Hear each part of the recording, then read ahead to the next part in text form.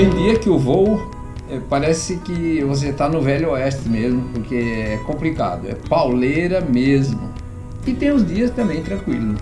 Você vê nesse voo que eu vou mostrar agora como é que é a tranquilidade. Eu, inclusive, fico ligando para os meus amigos. Então vamos ver um voo na tranquilidade.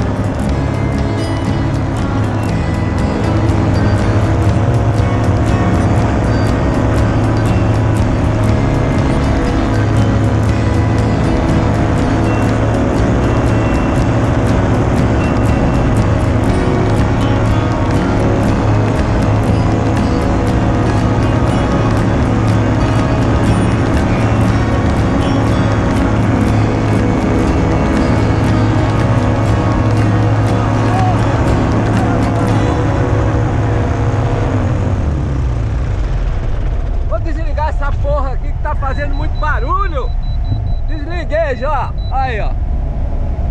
Pronto. Agora pode falar. Tudo bom? Vamos nessa, mano. Tchau.